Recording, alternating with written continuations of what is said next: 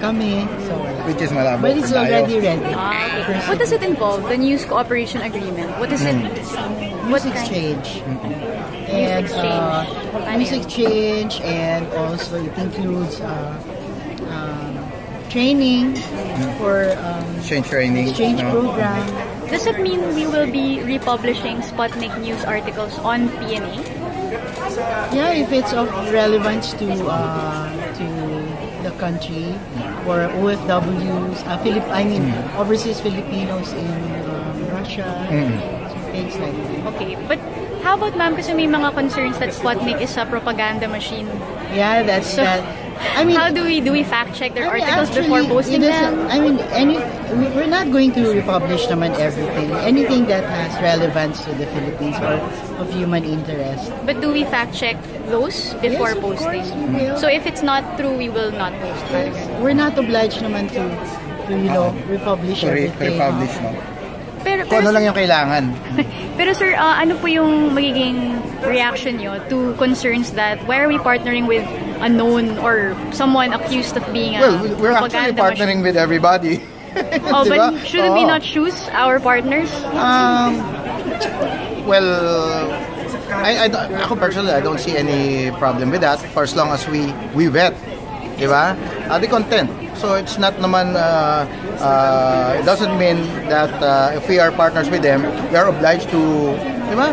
To reprint or republish everything that that uh, they publish.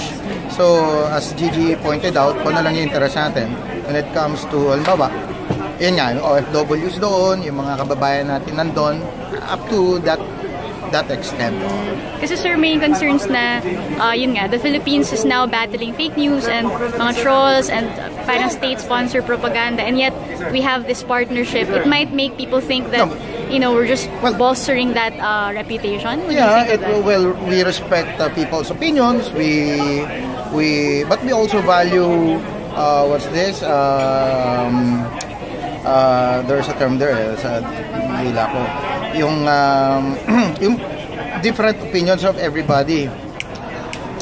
Uh, so some people might look at it that way, but uh, some people uh, might look at it the the other way.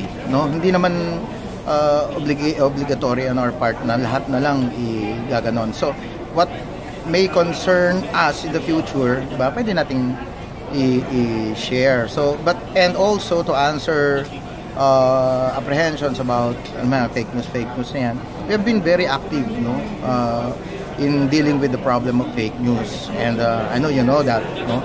And um, and it is a continuing uh, well, it's developing pa rin, no? Because the problem of fake news actually uh, less than five years old. Eh, wala, may pagpasok lang ng, I think, pagpasok ni President Trump yun, nagkaroon ng label na fake news.